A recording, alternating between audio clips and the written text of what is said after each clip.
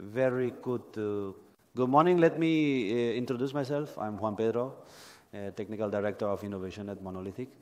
And I've been tasked to talk to you about edge computing.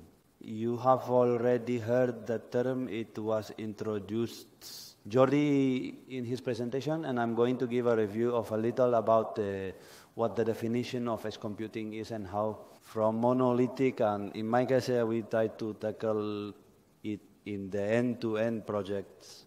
Computing as a definition is what allows process the data as close to where they were created instead of sending them over the network and processing everything in the cloud. The analysis of the results is done on site and, uh, and we put aside the cloud a bit for several reasons. To make it much clearer what edge computing means, let me give you an example. The example is very basic. We have surveillance cameras, all of them before. Uh, until recently, very little, they all focused broadcast video all day and concentrated on a recorder. And the recorder was sending, at a certain point, all the videos towards the cloud or in one direction, where the video was processed there and selected the videos where there had been movement. So that video stays recorded and registered. What happens now? Uh, enabled by edge computing, we make, we make smart cameras. What do these allow? Only send when the camera itself detects that movement. It will be the difference a bit from the paradigm shift and one of the advantages that becomes evident in optimization of the data and resources, the advantages that edge computing presents. Necessarily, they are basically the response times. It improves the response, the latency is lower, we can make real-time applications. It reduces bandwidth usage. It's true uh, that 5G is coming now, etc., etc., but that would be a low optimization of the 5G resource. Privacy and security. Uh, keeps personal data in the thing itself. You only send certain data, i.e., you do not send all the data to the cloud. And it allows you to process data in lower layers. And in the end, the less data you carry, the less vulnerable reduces server load by using the data. It offers new functionalities mm-hmm. and it increases the reliability of the system and energy consumption. Nowadays, the challenges that Anube proposes to us are like insufficient bandwidth within this new paradigm of the Internet of Things, where we're going to send a ton of data to the cloud, right?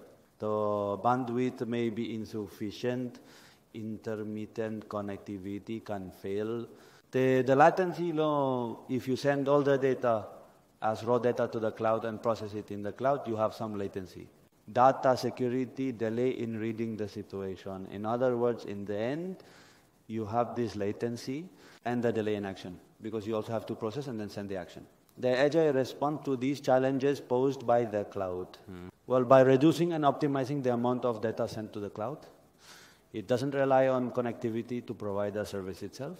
It has low latency, real time, less than 10 milliseconds, minutes, depending on the applications. The data stays at the source that generates it. You don't send all the data upwards, meaning providing security. The decision making is close and enables, uh, well, an instant action. Let me give you an example.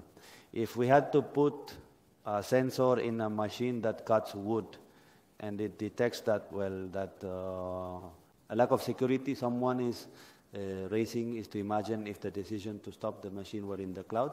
It's best if it's right where it's being detected. This would be a somewhat more movement example. Uh, it is true that it brings many advantages, but also challenges the edge computer. One is the replicability of data. We generate a lot of data, and it's necessary to see when and how it's generated.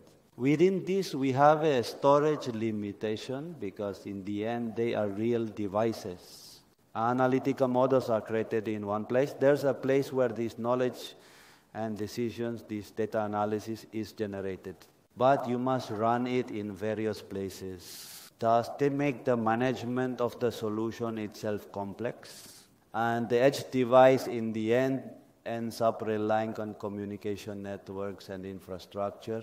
Another thing, another challenge posed by edge computing is the definition and design of the solution, which is very complex. This is what I do at Monolitic. I am ultimately the one who decides, who defines the design of the solution. And I'm going to give you about uh, four tips that I use when defining and to pose certain dimensions when deciding on certain things. Hardware and where I proposed the edge, that is the border between the cloud and the edge. Firstly, as Jordi also pointed out in his in his presentation, it's the difference between data, information, and knowledge. A lot of data in the cloud or anywhere, but in the end, if it's not processed, it's not information. If it's not displayed, it's not information. And if it's not treated, it's not knowledge. So, in this paradigm, we try to place the solution trying to answer what the company ultimately needs. They have to make strategic decisions and use the knowledge generated, and at the end, it's the people. This is a typical IIoT architecture. Internet of Things, an ecosystem where we see at the bottom all the sensors, actuators, let's say all the things, and edge zone, where we can do the real-time processing here. Mm. Real-time processing, uh, things much faster that need much quicker interaction. Then we have the cloud, where we can do other types of analysis. Uh, this would be an area where we work and where we have to make decisions when considering whether the decision should be in real time or being in the future.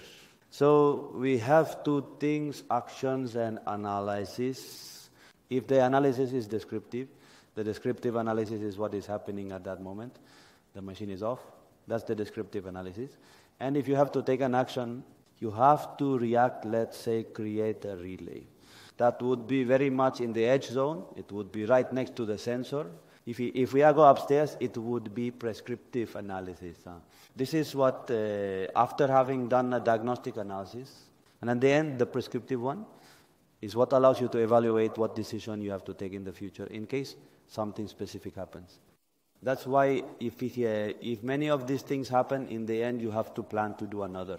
So diagnostic analysis is when you already have a history of what's happening the prescriptive is what's currently running. The diagnostic is when you can see a history and say that if it had been turned off for five hours, I have a problem. The predictive one is uh, seeing that there's a diagnosis and I can move forward depending on how the thing is reacting. What for? I can predict the situation's uh, status. That would be somewhat the predictive analysis, and the prescriptive is a bit, uh, well, assess what to do. It depends, in other words, doing a bit what should we do in this situation? Lasa works more in the area of what could be happening, and the perspective is what we could do. All of this allows me to place algorithms, processing, machine learning uh, in certain areas for certain situations. This would be somewhat the map or the canvas that I use. I used to decide depending on the things in the design of my solution, where um, I'm proposing actions on the left side and the analysis on the right side. And all of this assembled within the architecture of the technology. Fal, uh, the selection of hardware and software, I'm going to focus more on the hardware part. It's our strength. I have some uh, some premises. Uh, I usually use it, it must be compact and robust in design. We use our own tested operating system, which allows us at all times knowing that the state of our sensor is going to be as robust as possible. It must be safe and private. We strive, uh, we need to be very clear that the things, the gateways, all the technology we use, we need to, as much as possible, we have to enable remote administration that can be monitored and controlled. Modularity is extremely important to be able to replace their systems and make everything modular. And above all, the over-the-air upgrade, that is being able to update the system during setup. In progress, interoperability. We must control various communication protocols, and among them, communicate and focus. And that above all, when choosing the hardware, we have to have this compromise between consumption and computing power. On the subject of software, I have put um, a lot of software that we are handling and that is handled in the industry, and that new ones appear. And in the end, it also depends on from our partners what they use and what we are using. This is closely linked directly to the requirements of of the solution itself. Uh, so uh, this is what I wanted to show you a bit of what I what am I fighting for in monolith, which is to have a complex solution where we have to put from things at the base.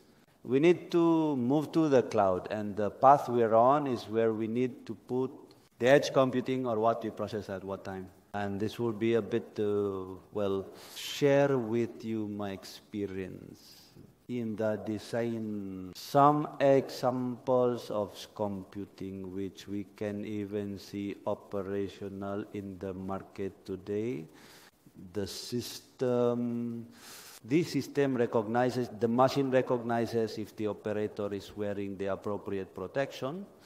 If he does not do it, the machine is not activated.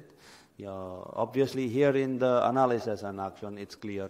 We can take this to the cloud we can't operate the machine in case it takes us. Therefore, TESI, this is very in edge computing, and the action has to be taken immediately. It reaches real time. We have, you have seen this many times, the reading of plates in, in the parking lot, it has to be in edge computing. That is, if this visual processing is done on the edge itself, the facial recognition for to sign up in companies and so on. And then procedures that are too much. Manufacturing, what they do is it depends on the processing. What the machine itself has to do is more based on the fact, close to, in this case, to the robot or in the cloud. Mm. Agree? And this was a bit um, the walk through the computing laws that it creates